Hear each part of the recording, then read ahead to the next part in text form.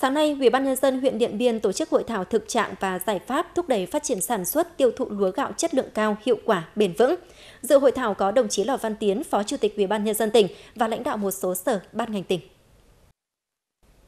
Thời gian qua, xác định rõ cây lúa là cây trồng chủ lực có vai trò quyết định trong việc giữ vững an ninh lương thực, xóa đói giảm nghèo. Huyện Điện Biên đã chú trọng đẩy mạnh áp dụng những tiến bộ kỹ thuật từ khâu chọn giống, đầu tư thâm canh đến phòng trừ dịch bệnh. Việc chuyển đổi phương thức sản xuất lúa từ cấy mạ già sang gieo xạ thẳng bằng tay, nhiều giống lúa mới có năng suất, chất lượng cao, thời gian sinh trưởng ngắn, thích hợp với điều kiện thời tiết, khí hậu được đưa vào thay thế các giống lúa địa phương. Qua đó, từ một địa phương thiếu lương thực, đến nay đã đảm bảo được an ninh lương thực và xuất bán ra thị trường. Cụ thể, tổng diện tích đất trồng lúa trên địa bàn huyện gần 7.200 ha, sản lượng bình quân đạt trên 62.000 tấn thóc một năm –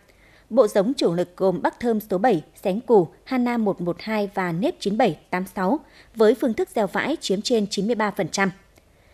Trên địa bàn huyện hiện có 2 sản phẩm gạo được cấp chỉ dẫn địa lý và có 4 sản phẩm gạo được công nhận ô cốp cấp tỉnh. Đó là 3 sản phẩm đạt 3 sao, gạo tám thơm thiên bản của công ty trách nhiệm hữu hạn thực phẩm secrin gạo xén củ, gạo tám thơm tâm sáng của Hợp tác xã Dịch vụ Tổng hợp Thanh Yên.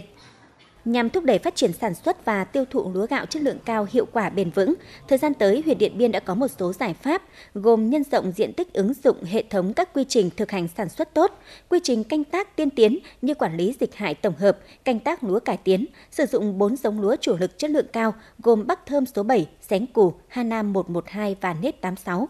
tuyên truyền vận động nhân dân chuyển đổi từ phương thức gieo xạ thẳng sang phương thức cấy bằng máy hoặc bằng tay xây dựng vùng chuyên canh sản xuất lúa gạo chất lượng cao tại các xã vùng lòng trào, đảm bảo thực hiện đồng bộ các hoạt động theo quy trình 7 khâu liên hoàn, canh tác, thu hoạch, chế biến, đóng gói, bảo quản, vận chuyển, tiêu thụ, xây dựng hạ tầng cơ sở vùng chuyên canh sản xuất theo ba nội dung: dồn điền đổi thửa, kiên cố hóa kênh thủy lợi nội đồng, xây kho bảo quản, chế biến sau thu hoạch.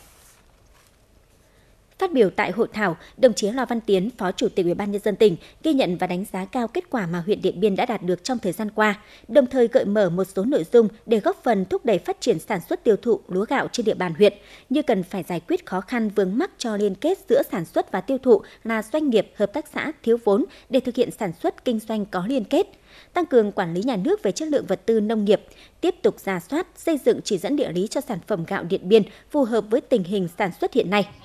Trước đó, đồng chí Lò Văn Tiến, Phó Chủ tịch Ủy ban nhân dân tỉnh cùng đại diện lãnh đạo một số sở ban ngành tỉnh đã đến thăm cánh đồng lớn và cơ sở bảo quản chế biến lúa gạo của hợp tác xã dịch vụ tổng hợp Thành Yên.